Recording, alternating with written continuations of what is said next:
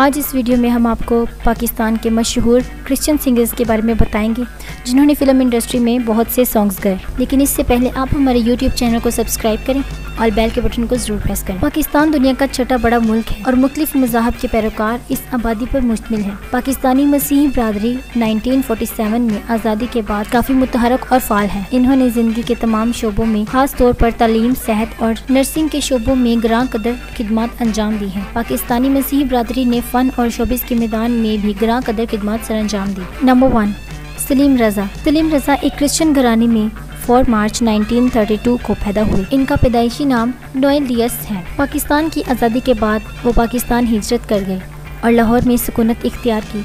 इन्होंने सबसे पहले लाहौर रिकॉर्ड रेडियो स्टेशन के लिए गाया। मजीद बरा रजा ने इस वक्त के म्यूज़िक कंपोज़र से मौसीकी सीखी, जिनमें मास्टर सादक अली और उस्ताद आशिक हसीन शामिल हैं। इन्हें पाकिस्तानी फ़िल्म इंडस्ट्री में तजर्बाकार फिल्मी म्यूज़िक डायरेक्टर गुलाम अहमद चिश्ती ने मुतारफ़ कराया था। रजा का पहला खुशकिस्मती हदायतकार सईद अताउल्ला हाशमी की 1955 में बनने वाली फ़िल्म नौकर में गाने का मौका मिला। इन्होंने उदास म्यूजिकल कंपोजिशन, तकदीर के मालिक देख जरा क्या जुल्म है, को अपनी आवाज़ दी। इन्होंने 1955 में फ़िल्म प्रोड्यूसर्स और कमाल बादशाह की कतील में पहले प्लेबैक सिंगर के तौर पर भी गाया। इन्होंने फ़िल्मों में बहुत से दूसरे गाने गाए, जैसे आस पास दो रास्ते हम सफ़र सीमा और बहुत सारी। इनकी आखिरी फ़िल्म, पायल की झनकार 25 नवंबर 1983 को कनाडा में वफात पा गई। Number two Sunny Benjamin, John.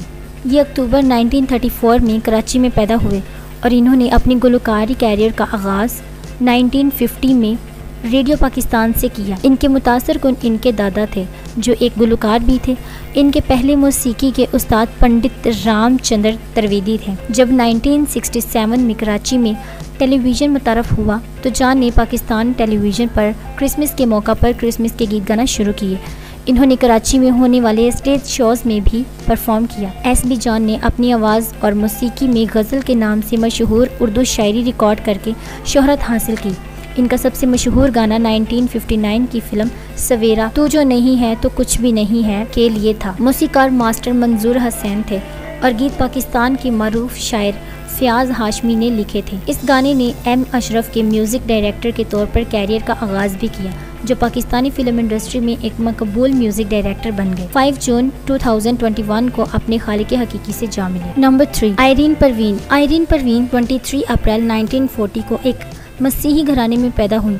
शुरू शुरू में आयरीन रेडियो पाकिस्तान के म्यूज़िक प्रोग्रामों में गाया करती थी। इन्होंने अपने कैरियर का आगाज़ 1957 में फ़िल्म नूर इस्लाम से किया। इसने मसूद राना और अहमद रशीद के साथ कुछ मकबूल कपल सॉन्ग्स गाए। बाद में इसने 31 फ़िल्मों के लिए बहुत हिट गाने गाए, जिनमें फ़िल्म आईना का एक सुपर हिट गाना, तुम ही हो महबूब मेरे, ख्वाजा परवेज़ के फिल्मी गाने के बोल और एम अशरफ की मौसीकी शामिल है। आयरीन ने 800 के करीब उर्दू और पंजाबी फिल्मी गाने गाए। इनके चंद मशहूर गाने ये हैं। मूवी आईना का सॉन्ग, तुम ही हो महबूब मेरे। मूवी इंसानियत का सॉन्ग, दिल ना लगाना जाके प्यारे। और मूवी ज़मीन का सॉन्ग, रुत सावन की रे मन भवन की। और मूवी बदनाम का सॉन्ग, कान में झुमका डोले। Number four, A Nayyar. Nayyar की पैदाइश चक नंबर 148 एल रोशन आबाद, ज़िला साहिवाल के एक छोटे से गाँव में एक क्रिश्चियन घराने में हुई इनका बचपन आरफ वाला पंजाब पाकिस्तान में गुजरा और बाद में वो लाहौर शिफ्ट हो गए। इन्होंने Saint Francis high school Lahore से मैट्रिक मुकम्मल किया और फॉर्मन क्रिश्चियन कॉलेज में दाखिला लिया। इन्होंने 1975 में गवर्नमेंट सेंट्रल ट्रेनिंग कॉलेज से बीएड की डिग्री हासिल की। नैयर ने अपना बचपन हिंदुस्तानी और पाकिस्तानी फ़िल्में देखने में गुजारा। मोहम्मद रफ़ी तलात महमूद और सलीम रजा जैसे फिल्मी प्लेबैक सिंगर्स ने इन्हें मुतासर किया। नैयर की टीवी पर पहली नुमाइश 1974 में शो नए फनकार में हुई, जिसके बाद इन्होंने प्लेबैक सिंगिंग का सफ़र शुरू किया। लॉलीवुड में इनका तारफ़ इस वक्त एक मशहूर फ़िल्म साज रियाज शाहिद ने कराया। जो अपने आने वाली फ़िल्म बहिश्त के लिए गुलकार के टैलेंट की तलाश में थे। वो फ़िल्म म्यूज़िक के डायरेक्टर वजाहत अतरे के तालब इलम थे और मरूफ गुलकार मेहंदी हसन के पास रहनुमाई के लिए जाते थे। नैयर ने अपने गुलकारी कैरियर में बयालीस सौ से ज़्यादा फ़िल्में रेडियो और टेलीविज़न गाने गाए ए नैयर गुज्त चंद सालों से दिल के मरीज़ थे। इनके 28 साल बेटे की मौत इसकी बिगड़ती हुई सेहत की बड़ी वजह थी। मजीद ये कि वो माली बहरान का शिकार थे, क्योंकि फ़िल्म इंडस्ट्री ने इन्हें यकसर फरामोश कर दिया था। 11 नवंबर 2016 की रात तकरीबन साढ़े आठ बजे नैयर तवील अलालत के बाद दिल का दौरा पड़ने से लाहौर में अपनी रहाइश गाह पर इंतकाल कर गई इन्हें लाहौर की जेल रोड पर वाक़ मसीही कब्रस्तान में इनके दोस्तों, रिश्तेदारों और अहले खाना की मौजूदगी में सुपुर्द खाक कर दिया गया। नंबर फाइव बोहेमिया बोहेमिया 15 अक्टूबर 1979 को कराची, सिंध में एक पंजाबी क्रिश्चियन ख़ानदान में पैदा हुए और इसने अपनी स्कूल की तालीम पेशावर खैबर पख्तूनख्वा में हासिल की।